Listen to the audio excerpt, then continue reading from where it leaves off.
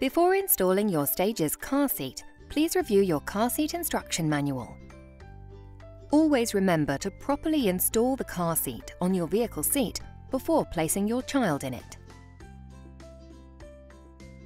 The rearward-facing mode is for children from birth to 18 kilograms, which is approximately 4 years old.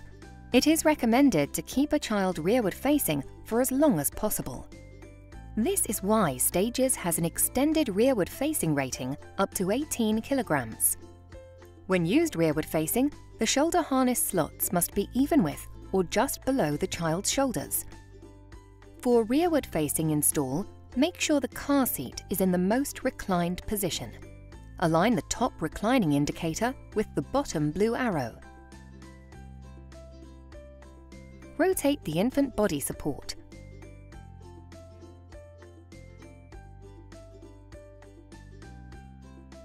Pass the vehicle waist belt through the vehicle waist belt slots.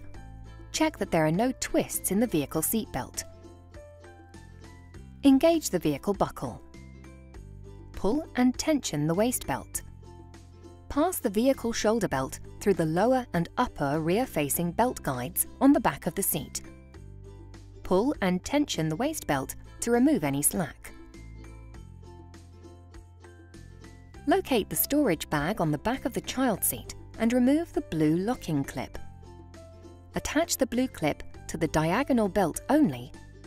Then, while pressing down on the seat, pull the belt to tighten the child seat securely. Hold the belt tight, then slide the locking clip down as close to the buckle as possible. Pull and tension the waist belt to remove any slack. Double check that there is significant tension in the waist belt and that the car seat does not move on the vehicle seat. Restore the infant body support for children under 9 kilograms.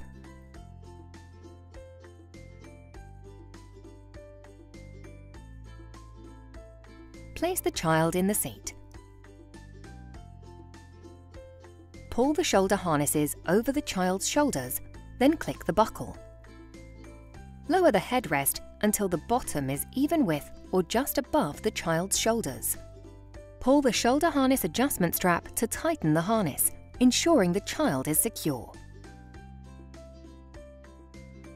Group 1 is forward-facing for children between 9 and 18 kilograms, which is approximately 1 to 4 years old. When used in the forward-facing Group 1 mode, the shoulder harness slots must be even with or just above the child's shoulders. Ensure the infant body support is removed as this is only used when rearward facing up to 9 kilograms. There are three recline positions for Group 1. Align the top triangle with one of the three red triangles. Before installing the seat, adjust the car seat to the desired recline position.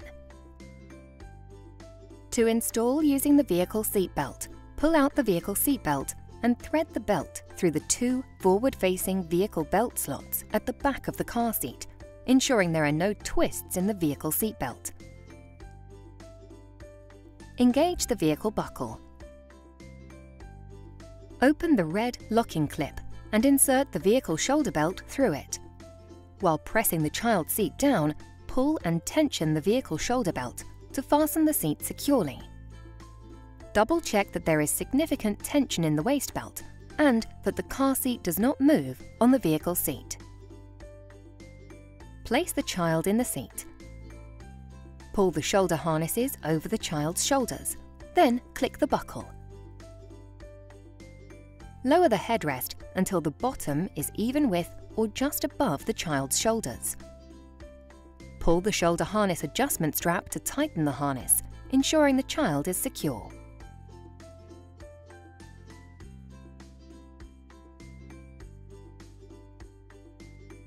Press the button on the harness adjuster and pull the shoulder harness toward you. Unbuckle the harness. Detach the snaps on the seat pad. Place the shoulder harness straps, buckle and buckle tongues in the harness hideaway storage compartments. Pull the buckle through the slot in the seat pad and then store the buckle in the harness hideaway. Reattach the snaps to recover the seat pad.